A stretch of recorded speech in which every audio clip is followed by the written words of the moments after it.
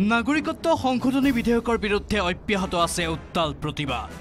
চৌৱন্তা সংগঠনৰ প্ৰতিবাদত কঁপি উঠিল ডিব্ৰুগড়ৰ আকাশ বতাহ।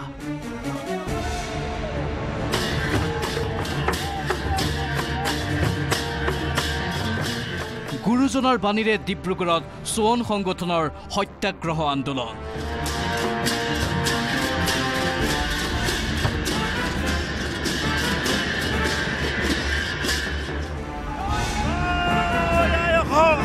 ডিব্ৰুগড়ৰ পুৰণি হাইস্কুল খেলপথাৰৰ পৰা ডিব্ৰুগড় নগৰলৈ চৌৱন্তা সংগঠনৰ বিশাল সমদলেৰে কেন্দ্ৰ আৰু ৰাজ্য চৰকাৰক সতৰ্কবাণী। বিধেয়ক বাতিল নহ'লে নিস্তাৰ নাপাব চৰকাৰে।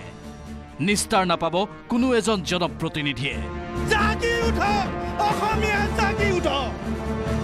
আছুৰ সম্পাদক লুৰিণজ্যোতি গগৈৰ হুংকাৰ শেষ বিন্দু তেজ থকালৈ বিধেয়কৰ বিৰুদ্ধে চলিব সংগ্ৰাম।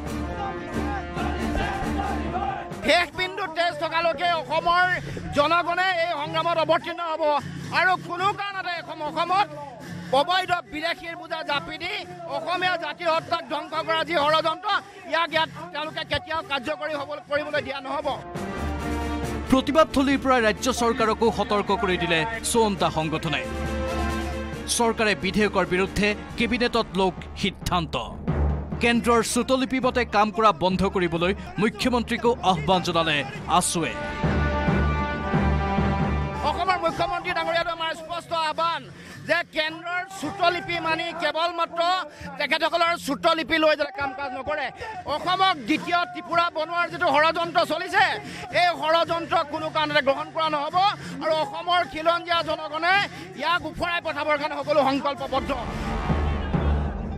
ডিব্ৰুগড়ত প্ৰতিবাদত অংশ ল'লে বহু বিদ্যালয়ৰ ছাত্ৰ ছাত্ৰী আৰু বিভিন্ন সংগঠনৰ প্ৰতিনিধিয়ে।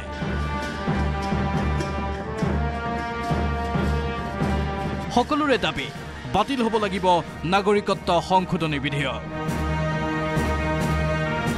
আমি কেন্দ্ৰীয় চৰকাৰ অসম চৰকাৰক এই জাতিধ্বংসী বিধেয়কখন আমি বাতিল কৰিবৰ বাবে অনুৰোধ জনাইছোঁ। আজি সকলো এই মঞ্চৰ পৰা আমি সদৌ ডিব্ৰুগড় জিলাবাসীৰ হৈ গোটেই অসমৰ ৰাইজক এই আইনৰ বিৰোধিতা কৰিবৰ কাৰণে আমি দাবী জনাইছোঁ।